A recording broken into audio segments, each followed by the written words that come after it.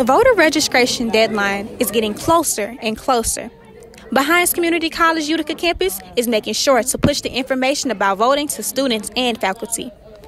Sophomore Zanila Coeson shared why it was important to go out and cast your vote as a young adult.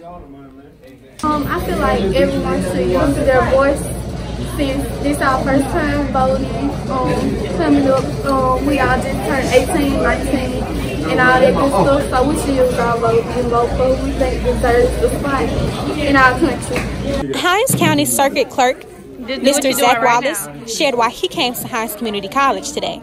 My purpose to come to Hinds Community College in Utica, Mississippi. I just want to inform as many people I possibly can about November 5th. It's a very important date. If you're not a registered voter, you need to register to vote. If you are a registered voter, encourage others to vote. Don't, don't just be a registered voter. Be a voter, an active voter, a prepared voter, and know where you're going to vote at. There are steps that need to be taken when you are trying to make change, and registering to vote is one of them. Da'Jnea Antoine, reporting for WHUC News 7.